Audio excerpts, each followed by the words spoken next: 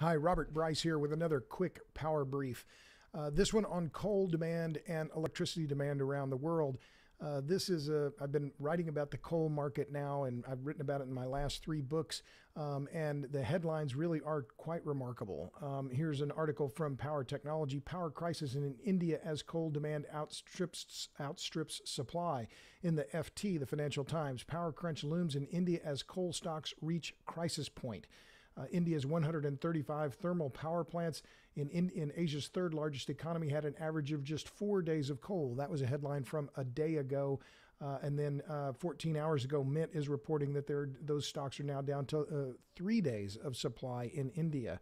Uh, China, meanwhile, uh, China's widening electricity crisis caused by coal shortages these are the realities of today. And we can talk about all the causes, their knock on effects from the pandemic, but it comes to mind because five years ago, I was in India and we interviewed uh, Sanjay Ka- uh, uh, Kar Chowdhury uh, from the Calcutta Electric Supply Corporation. And I quote him in A Question of Power.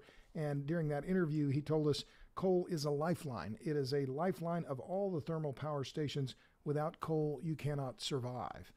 Um, to me, this is you can love coal, you can hate coal. It doesn't really matter. What it is indicative to me of is two things. One, it's further corroboration of Roger Pielke's iron law of climate. What is that iron law of climate? It is that when forced to choose between climate action and economic growth, economic growth will win every time. Well, all uh, due respect to Roger Pielke Jr., he's been on my podcast a couple times. My corollary is the iron law of electricity, which is that people, countries, and businesses will do whatever they have to do to get the electricity they need. And that's what we're seeing now in China, in India. Uh, one of the other headlines that's just recent in the last couple days in Bloomberg about a German power plant forced to halt production due to a lack of coal.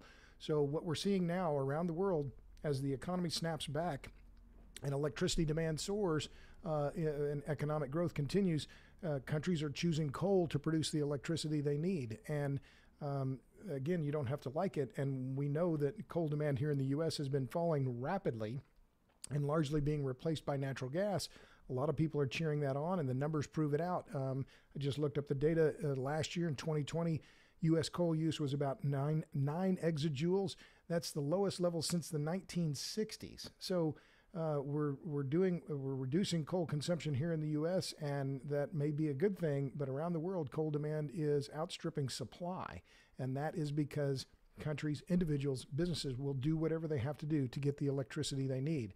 So I'll stop there. Um, this is a story that's uh, we're, we're, we're looking at an energy crisis around the world for all kinds of hydrocarbons, coal, oil, and natural gas. Um, and, and, and it doesn't look like this is going to end, uh, this, these shortages are going to end anytime soon. So this is a developing story. I'll be uh, doing more power briefs on it in the days ahead. That's it for now. Thanks.